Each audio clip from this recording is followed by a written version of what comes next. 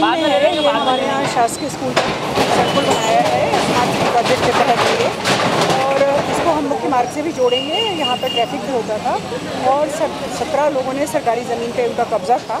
तो ये आज कब्ज़ा भी हटा के हम लोग स्कूल को भी अप्रोच दे रहे हैं और पीछे रोड मिला रहे हैं। इसलिए आज ये हम लोगों ने सुबह इस पर कार्रवाई करी किसी प्रकार का विरोध नहीं हुआ। हम लोगों ने तीन दिन से उनको कहलवा रखा था। एक हफ़्ते पहले भी नोटिस दे दिए जा चुके थे और उनको पर्याप्त समय देके उनको सामान निकलवाने के बाद ही ये सब कच्चे स्ट्रक्चर थे, वो सब हम लोग हटा रहे सत्रह है। सरकारी ज़मीन है, नगर निगम की ज़मीन है। तो पीछे स्कूल है। स्कूल के लिए ही हम लोग ने जगह खाली करवा